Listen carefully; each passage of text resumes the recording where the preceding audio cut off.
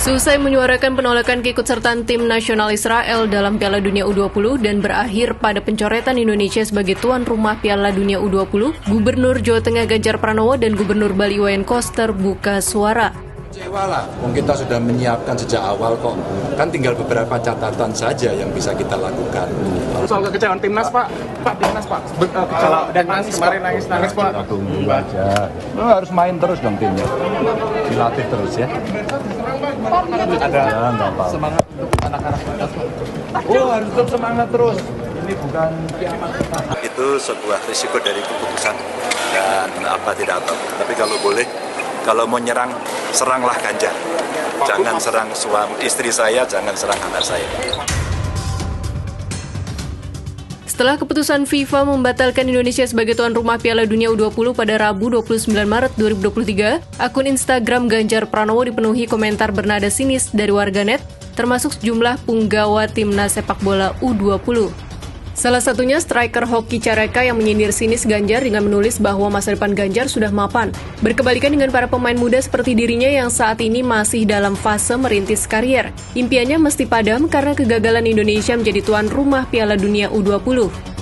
Pemain lain, Robi Darwis bahkan menulis bahwa Ganjar telah mengubur impian para pemain muda sepertinya bermain di Piala Dunia U20.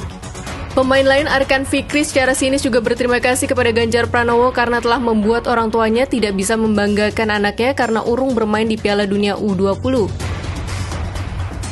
Sementara itu, Gubernur Bali Iwayan Koster juga menanggapi batalnya Piala Dunia U20 di Indonesia. Dalam pernyataan tertulisnya, Koster menyampaikan penolakan kehadiran tim Israel bertanding di Bali. Menurutnya, kehadiran tim Israel di Bali berpotensi menjadi sasaran dari berbagai pihak yang bisa membahayakan keamanan dan keselamatan. Mengenai sikap penolakan atas kehadiran tim Israel, Wayan Koster menyatakan itu tanggung jawabnya sebagai Gubernur Bali. Hal menarik justru terlontar dari Wali Kota Surakarta, Gibran Rakabuming Raka, yang sempat menawarkan Surakarta sebagai lokasi pengganti pengundian fase grup Piala Dunia U20 menggantikan Bali.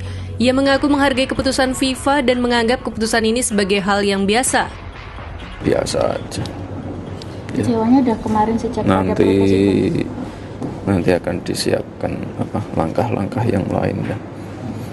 Apa-apa yang sudah kita siapkan untuk penyelenggaraan Piala Dunia ini akan tetap kita siapkan karena nanti Pak Ketua Umum PSSI akan menyiapkan event lain juga. Insya Allah di tahun ini